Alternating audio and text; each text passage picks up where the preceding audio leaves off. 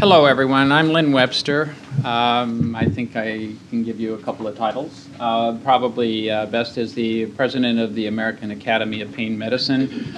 Um, been a clinician, and anesthesiologist in the state of Utah for 30 years before I retired from my practice. And now I'm a uh, clinical researcher, uh, full time clinical researcher, mostly in uh, uh, investigating safer, more effective analgesics for the treatment of pain. I'm also uh, certified uh, in addiction medicine. Um, I, I think that uh, chronic pain is, in many ways, viewed as palliative care. That is the treatment of chronic pain. Um, and so I, I, I, really do see this uh, intersection a great deal. Uh, and I have in, um, I have in my career uh, but uh, it, it is, I think, a misnomer not to think that chronic pain isn't uh, terminal and malignant, as Myra you just said. I often had seen um, patients who uh, threatened to commit suicide if they couldn't get some relief. And so, for many people that experience chronic pain, it's as malignant as a cancer. And today, with the cures that we see with many of the cancers, I, I I, I would uh, set it up against uh, many of the people that that is uh, it, the challenges, the challenges of treating people to restore a quality of life and even an extent of life um, are as great for many people with uh, severe chronic pain as with many of the cancers. So it brings me to, though, the, the issue I want to bring up because I think we have decision makers here, and that in the next year or so, there are some decisions that could have a major impact on the malignancy of chronic pain and the outcome of uh, chronic pain. And, and that's the treatment. Um, uh, you know, uh, Jim had begun to talk a little bit about uh, the uh, opioid issue, and it is indeed a serious problem. I've often talked and lectured about uh, safe, safe opioid prescribing or a safer way to prescribe opioid. Most of my lectures have always been about reducing harm um, and reducing the death. Deaths associated with opioids because indeed they are a particular problem.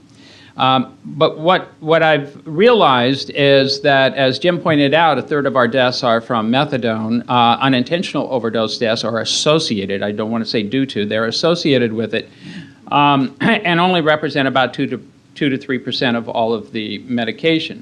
Now, here's, here's where um, I think an important point uh, needs to be made, or I hope that uh, those who are decision makers understand. With the ex- with the expansion of uh, Medicaid, we're going to have far more people having access to some treatment. And I think you all probably know that methadone is an inexpensive medication and it's a default medication.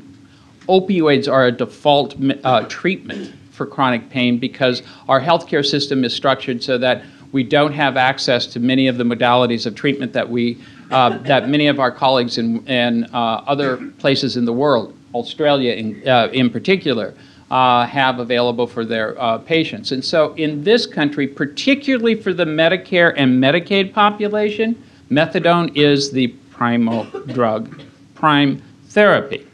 Now the problem with that is, is that it's very risky to prescribe. And this can be illustrated by what occurred in the state of Washington uh, a couple of years ago and reported in the Seattle Times, for which they received the Pulitzer Prize. 8% of that uh, state adult population um, are Medicaid, but they represented 48% of all of the unintentional overdose deaths. This all occurred after the policy of placing methadone as a preferred opioid.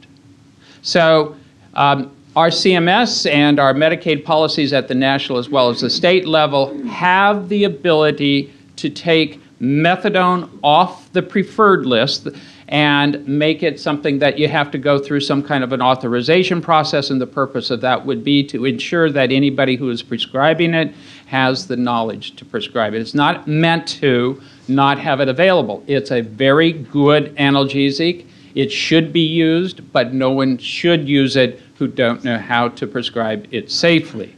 And this is going to be a position statement from the American Academy of Pain Medicine. We need to have adequate knowledge in order to safely prescribe it and not leave it on as a preferred drug. There are uh, 34 states in the country that have um, methadone on their preferred drug list. 34. 14, uh, don't. Two, only two, Nevada and West Virginia have indicated that um, it is not preferred. The other 12 are just silent.